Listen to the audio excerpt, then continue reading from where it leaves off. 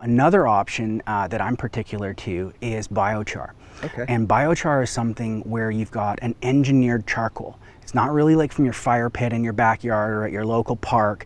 Um, this is something that's been engineered. Um, and the way to look at it is uh, almost as like a hard-walled sponge. And what happens is microbes actually love living in it and around it.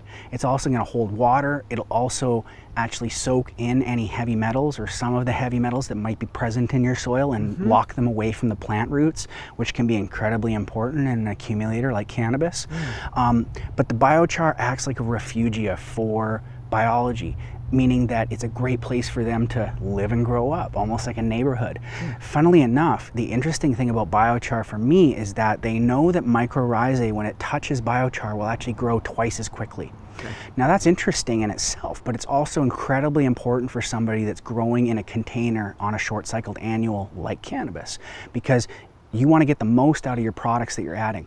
So adding biochar to your mycorrhizae product that you're adding yeah. can actually give you a much stronger effect and a higher impact from that product. Interesting. Now yeah. you mentioned that this biochar is an engineered charcoal. Yeah. So I imagine, uh, you know, who's doing the engineering could, you know, play a role into how effective this biochar. There's different types. It can also matter which tree it comes from. We're standing under an oak tree right now. You can get it from an oak tree. You can get yeah. it from a pine tree.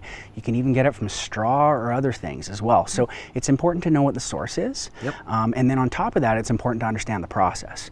Like I said, you know, putting stuff in your fire pit is not creating biochar. A lot of people think that, it's not the same. And the reason being is that the biochar that's high quality doesn't ever get touched by a flame.